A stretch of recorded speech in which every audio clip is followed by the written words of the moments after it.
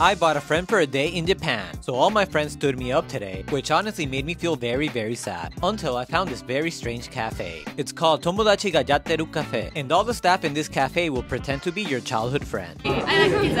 Yeah and the menu is on theme as well. It's very casual and has hidden codes. For example, this item is called my usual drink. And to order a brownie, you'll need to uh, brownie. I still had to pay, which wasn't very friendly, but they did help me make my friends jealous by taking many selfies with me, which is the reason why